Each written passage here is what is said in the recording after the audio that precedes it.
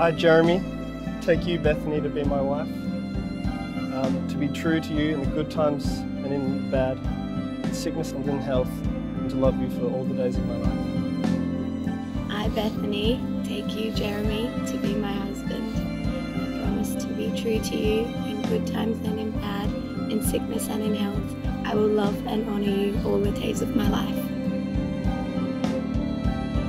Some say the most important things in a marriage are love, a spirit of forgiveness, a desire to live in love and respect together, and then love and forgiveness again, and then friendship, honesty, and patience.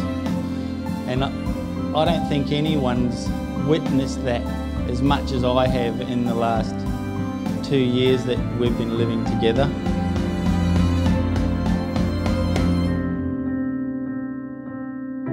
And then, and then this kid comes up to me, we were about five, and he says, Hi, I'm Jeremy. Um, I can show you around if you like. And, um, and, and yeah, we were inseparable ever since. Uh, we've been best friends since then. So, so thank you for showing me the playground in pre-primary.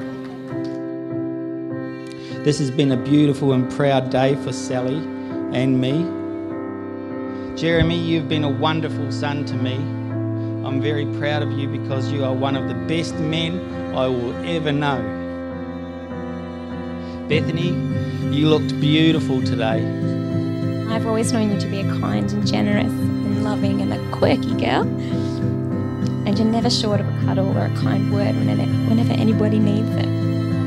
So you're a very lucky man, Jeremy, and I know that you know that. And you're a very special man yourself. I've never seen Bethany as happy she's with you, and I wouldn't have let her go to anyone less.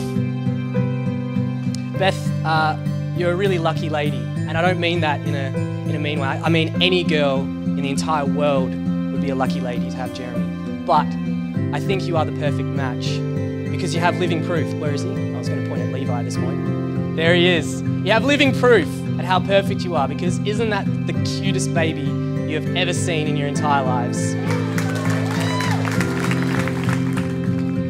May the happy couple lie, steal, and cheat. May they lie in each other's arms. May they steal away for a blissful honeymoon.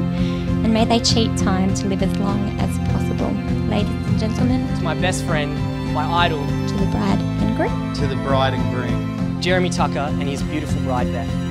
Cheers.